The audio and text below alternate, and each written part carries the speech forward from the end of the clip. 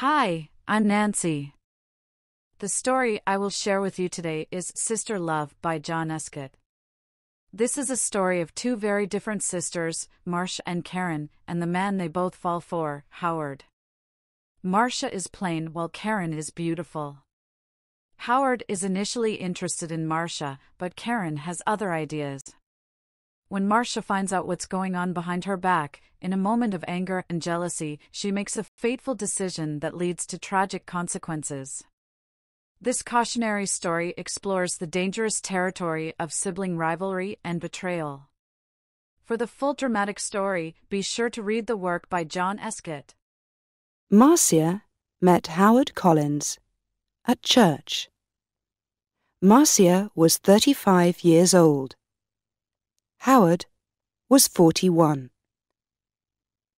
Howard lived with his mother in a small house on the south side of the town. Marcia lived with her sister and father in an apartment three streets away. Marcia did not work. Her father, George Grant, was ill and never left the apartment. He stayed in bed most of the time and always needed somebody with him. So Marcia stayed at home with her father and only went out when her sister Karin was in the house. The two sisters were very different. Marcia was short, with a small, round face, and short black hair. Karin was ten years younger. She was tall, had long brown hair, and good legs, and a suntan all through the summer. People often said to Marcia, Your sister is very beautiful. There were always lots of men ready to take Karin out to dinner or to the cinema. But Marcia stayed at home. Karin worked in a shop in the town. When she was at home, she liked to sit up on the roof garden of their apartment building. It was one Sunday in May when Marcia came home with Howard the first time. She took him to see her father. George Grant was in bed. He had grey hair and a grey face. Sometimes he read a book, but mostly he just sat in bed and watched television. This is Howard, father, Marcia said. He works at the hospital, and we met at church. I told you about him last week. Do you remember? No, her father said, and he turned his face away back to his television. He was not interested in new people or his daughter's friends. Just then, Karin came into the room. She wore a white bikini and white shoes. She smiled at Howard. So you're Howard, she said. My big sister has got a boyfriend at last. Howard's face went red, and he looked down at his feet. Karin laughed. Come on up to the roof garden and have some wine. The sun is wonderful this morning. Oh, I... Howard began. Marcia looked angrily at her sister. But then she said, Yes, I must get father a drink. see you in a minute, Howard. Go up to the roof and talk to Karin. The sun was hot on the roof, and Howard took off his coat. He looked around. There were three chairs, a sun umbrella, a sunbed, and a table with three glasses and a bottle of wine on it. There were tiles on the floor, and next to the little wall around the edge of the roof, there were some flowers in boxes. This was the garden. Very nice, said Howard. Karin smiled at him. We don't see many good-looking men up here, she said. Sit down and have a drink. Howard's face went red again. He gave a shy little laugh. Oh, thank you, he said. He tried not to look at Karin's long, sun-tanned legs but it was not easy. I come up here all the time when it's sunny, Karin said. She began to put suntan oil on her arms and legs. Howard watched. Then Marcia arrived, and the three of them sat in the sun and drank wine. Marcia looked at Howard with love in her eyes. She did not look at Karin. Karin watched them. Her eyes went from her sister to Howard and back again to her sister. She smiled. It was not a nice smile. Every Sunday morning after that, Marcia brought Howard home for a glass of wine after church. Howard stopped his car in the street outside the apartment building. And Marcia said, Sound the horn, Howard. Tell Karin we're here. Then she can get the wine ready. So Howard gave three little toots on his car horn. On sunny days, Karin always came to the wall at the edge of the roof and looked over to wave at them. Then she went to get the wine. She always wore her bikini or a very short skirt. Marcia never wore short skirts or a bikini. My legs are too fat for bikinis, she told Howard. Your legs are very nice, he said shyly. One day in June, Karin asked Howard, What time do you finish work, Howard? About six o'clock, he said. Could you bring me home after work? Karin said. My shop's very near the hospital. You drive right past it. And you only live three streets away from us. There's a very good bus, said Marcia quickly. It stops outside our building. But the bus is so slow, Karin said. Please, Howard. Howard looked from one sister to the other. Oh, well, yes, all right then, he said. Thank you, Karin said, and gave him a quick kiss. So, every evening, Howard drove Karin home. On the first Friday, they were an hour late. When they arrived, Marcia was at the door of the apartment building. What happened? she asked. Why are you so late? There was an accident, Karin said. Three cars, all across the road. On that hill by the cinema, you know. We couldn't get past. We couldn't go back. There were so many cars. Nobody could move. Howard said nothing.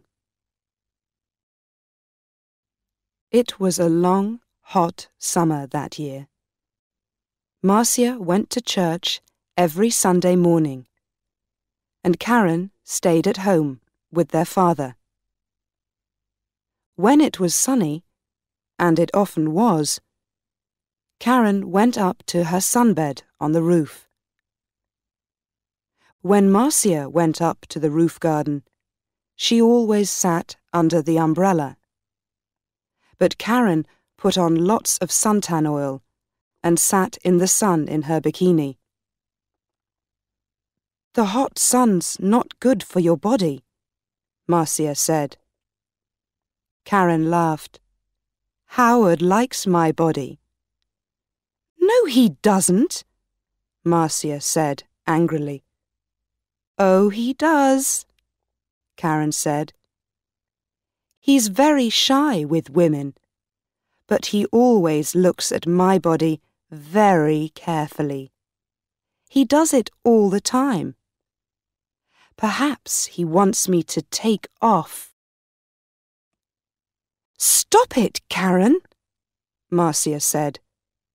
Don't say those things. Karin laughed. What's the matter, big sister? Are you afraid I'm going to take him from you? Marcia did not answer. The next Sunday, Howard phoned Marcia early in the morning. I... I don't feel very well, he said. I'm not going to church today. Oh, my love, I'm sorry. Marcia said. Can I phone you when I get home? Yes, of course, he said. I can't phone before one o'clock, Marcia said. I'm going to be late back because there's a meeting after church. Something about Africa, I think. Oh, yes, I remember, Howard said. But Marcia was wrong. There was no meeting after church that morning. It was the next Sunday. So she left church at the usual time and arrived home at a quarter to twelve. First, she went in to see her father, but he was asleep. Then she phoned Howard but there was no answer. Perhaps he's sleeping, she thought, and his mother doesn't want to answer the phone. She went to her room and put on a long summer skirt. Then she went up to the roof garden. She put her hand on the door to the roof and stopped. The door was half open, and she could hear voices. There was someone with Karin. A man. Howard. Howard? Marcia listened. I feel bad about this, Howard said. We must tell Marcia soon, Karin. No, Karin said quickly. She gave a little laugh. It's our secret, Howard. Only for a little longer. All right? I... I don't like... he began, But you do love me, Howard, Karin said. Not Marcia? Say you love me, please. Marcia suddenly felt cold. You... you know I do, Howard answered. But... Karin kissed him. It's our little secret. Oh, is your car outside, my love? We don't want Marcia to see it. I didn't bring my car, Howard said. I walked here. Good, Karin said. But it's getting late. You must go, before she comes home. They kissed again. See you tomorrow. Usual time, usual place, said Karin. Now go. Marcia moved quickly and quietly away from the roof door and ran to her bedroom. She did not want Howard or Karin to see her. She heard their voices. Then the front door of the apartment opened and closed. Howard was gone. Marcia sat on her bed for an hour. Why, why, why? she thought. Why does she do it?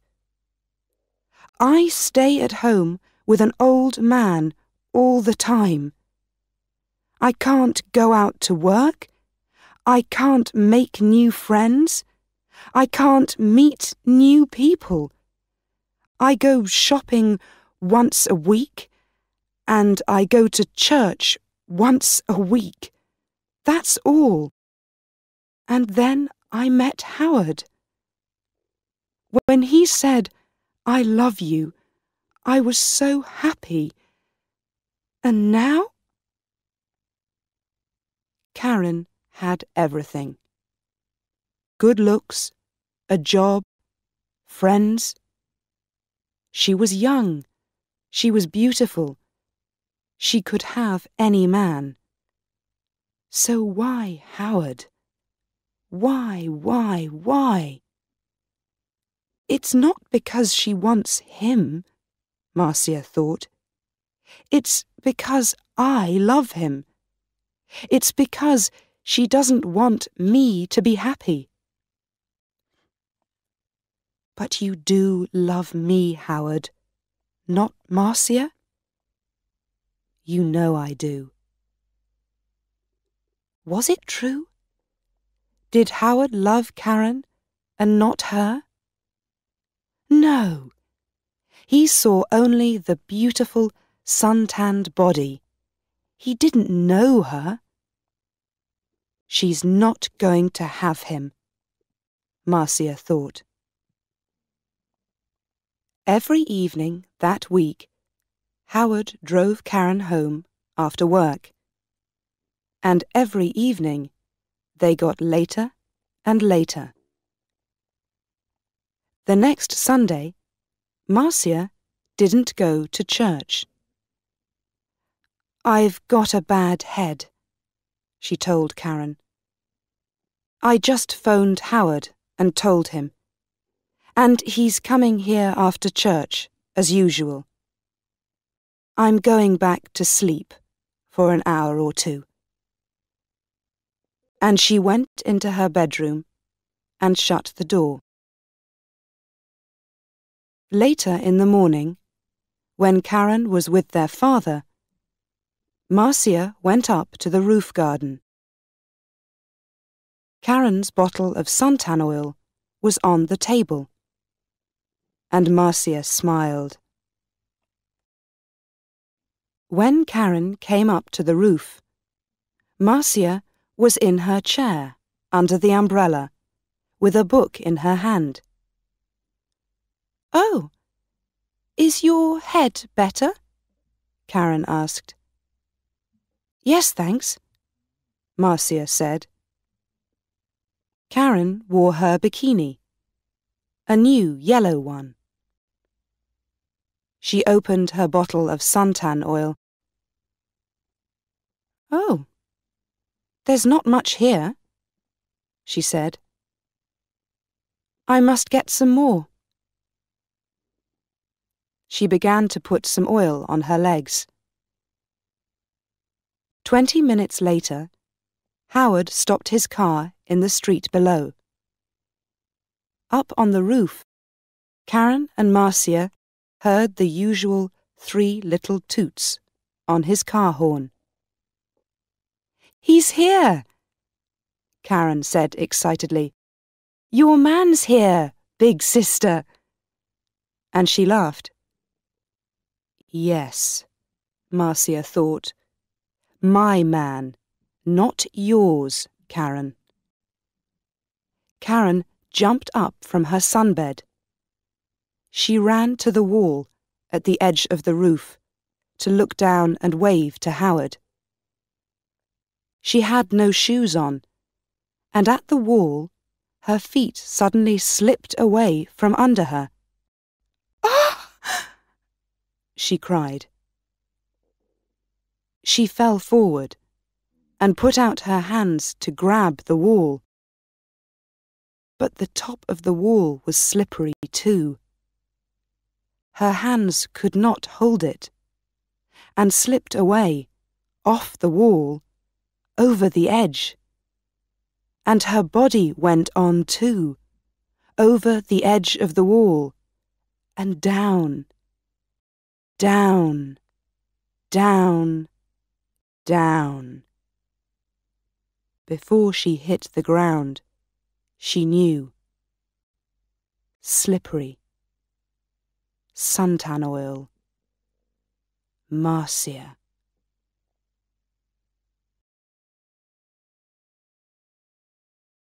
Well, the story comes to an end here, but you mustn't stop here. Vocabulary is a fundamental aspect of English proficiency.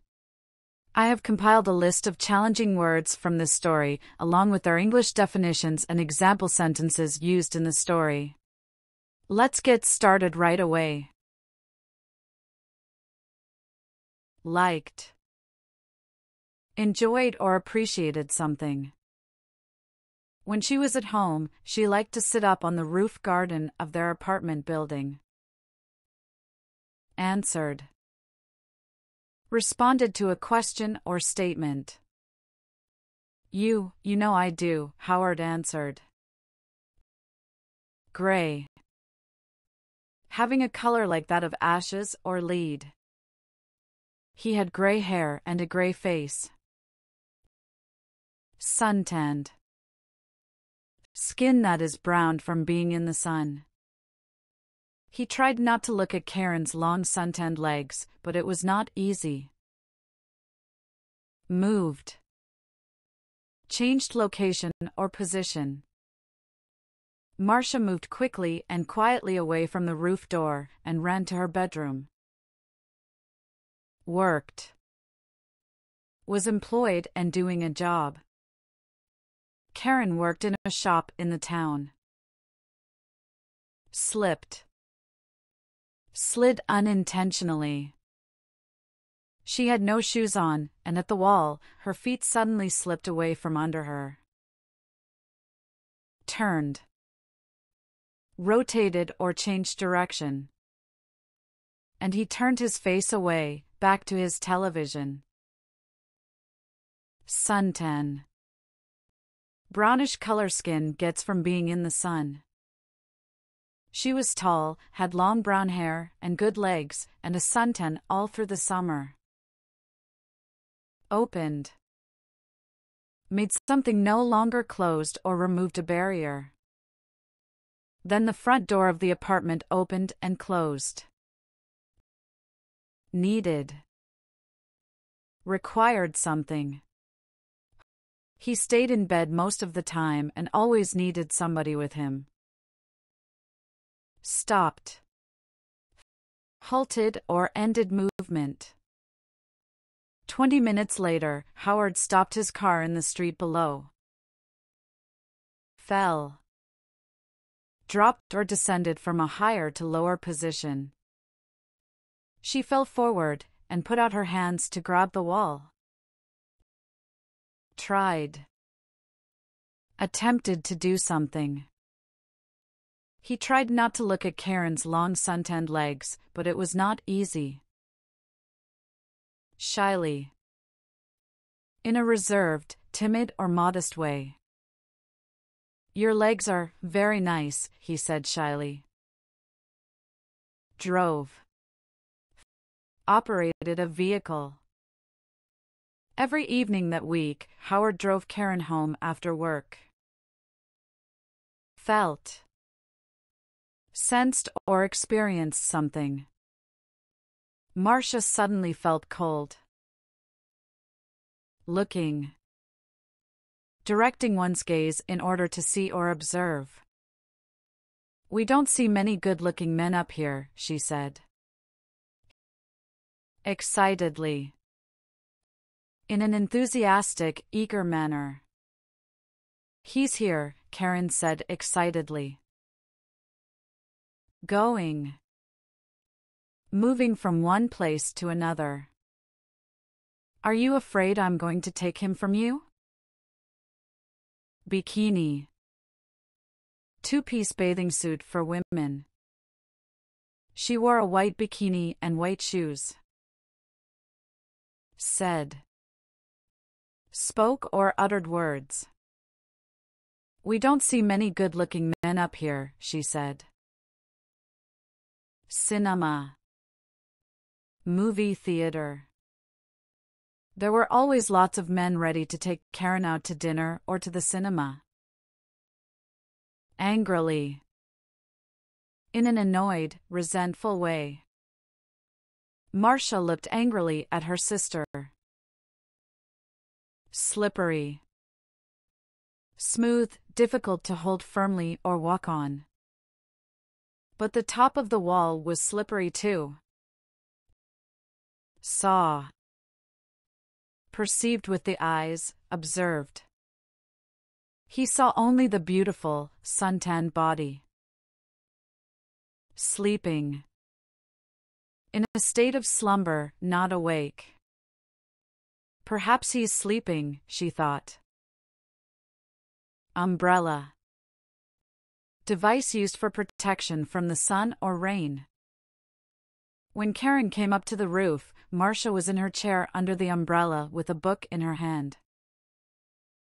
Sunny. Bright, warm, and cloudless. On sunny days, Karin always came to the wall at the edge of the roof and looked over to wave at them. Now, are you ready to test your understanding of the story? Let's see how well you are paying attention. Where did Marcia meet Howard? How old was Marcia and how old was Howard? Who did Marcia live with? What was wrong with Marcia's father George? How were Marcia and her sister Karin different in looks? Where did Karin like to sit when she was home? When did Marcia first bring Howard home to meet her father?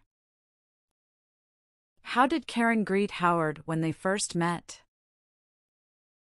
What did Karin invite Howard to do when he first visited? What did Howard and the sisters do every Sunday after church?